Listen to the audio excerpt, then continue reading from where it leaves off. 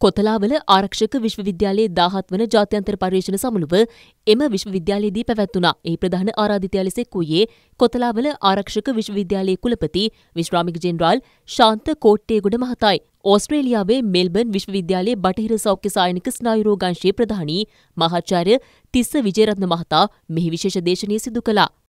කොරියා රජය ලබා දුන් පාසල් උපකරණ අකුරැස ප්‍රදේශයේ දරුවන්ට ලබා දීම දසබහ බෝධි සෙනසුන් විහාරස්ථානයේදී සිදු කෙරුණා. මීට සමගාමීව කිලෝ 20 බැගින් පවුල් දහසක් වෙත සහල් ලබා දීමද සිදු කෙරුණා. අකුරැස පෝරම් විද්‍යාලයේ ආචාර්ය පූජ්‍ය ගෝනදෙනියේ මංගල ස්වාමින් වහන්සේගේ සම්බන්ධීකරණයෙනුයි මෙම කටයුතු සිදු කෙරුණේ. මහරගම ඒෂියන් ලංකා කෙයාගෙව ආයතනයේ පුහුණු හා සැසිවාර සාර්ථකව නිම කළ සිසුන් සඳහා ජපාන හා කැනඩා රටවල් සඳහා වීසා ලබාදීම සිදු කෙරුණා. එම ආයතනයේ සභාපති සිසිර කුමාර ගමගේ මහතාගේ ප්‍රධානත්වයෙන් එම ආයතන පරිශ්‍රයේදී උත්සවය පැවැත්වුණේ.